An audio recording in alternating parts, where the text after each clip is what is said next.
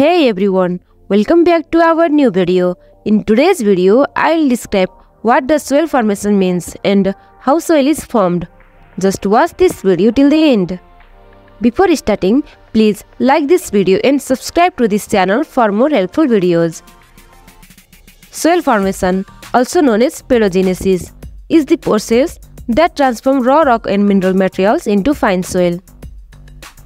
In the process, soil develops from the interaction of various factors over time. It is a complex and dynamic process that transforms parent material into a medium capable of supporting plant life.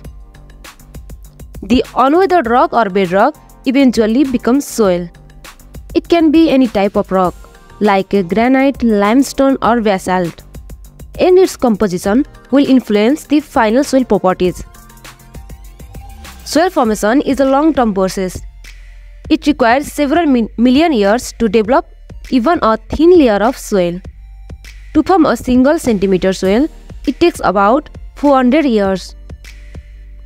Due to its intricate composition involving various components, the formation of soil is inherently complex.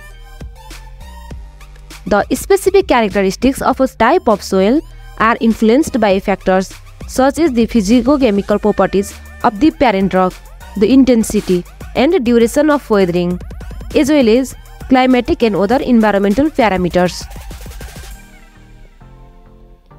I will describe the soil forming process in detail in the next video.